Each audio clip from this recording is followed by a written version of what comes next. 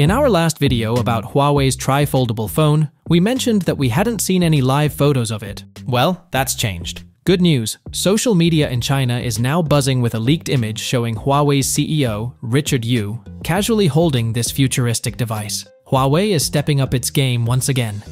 Remember when they dropped the Mate X back in 2019? Well, now they're working on something even crazier, the world's first tri-foldable phone. Yeah, you heard that right three folds.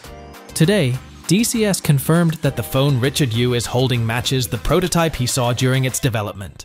From the image, you can spot the punch hole camera tucked in the upper left corner of the screen. Now, don't be surprised if this phone feels a bit chunkier than what we're used to. I mean, it's folding in three parts, so that's a lot of tech packed in there. But Huawei's thrown in some cutting edge stuff, making this phone something that's going to stand out for a while. And yeah, all that tech comes at a price, so expect it to be on the premium side. Let's now dive into a bit of details.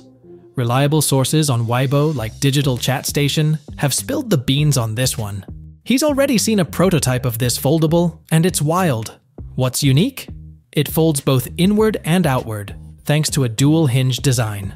The display is expected to be a massive 10 inches, with the company reportedly doing an impressive job of minimizing the crease, under the hood, this tri-foldable beast will be powered by Huawei's Kirin 9 series chipset, and it's set to drop before the Mate 70 series. With Huawei just launching the Nova Flip and rumors swirling about the Nova 13 series, we might see this tri-foldable phone hit the shelves as soon as September or October. Thanks for watching. If you're excited about Huawei's new tri-foldable phone, make sure to hit that like button and subscribe for more updates.